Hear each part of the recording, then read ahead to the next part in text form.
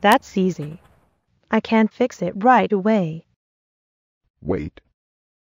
You may have learned some myths and I can help you understand better. Hello folks, welcome to Steve's Garage. I will help with your day-to-day vehicle repair issues. In this series I am going to be your vehicle repair myth buster.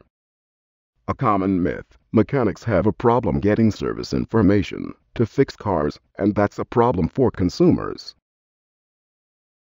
This is not true. Every day millions of auto mechanics access the website of 40 automakers and a dozen independent service information companies to find what they need to promptly fix cars. Nationally, Consumer Reports says that lack of access to data is problem and only 0.2% of automobile repairs.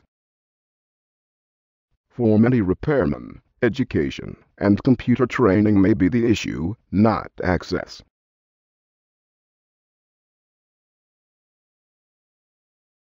This video is powered by Automotix.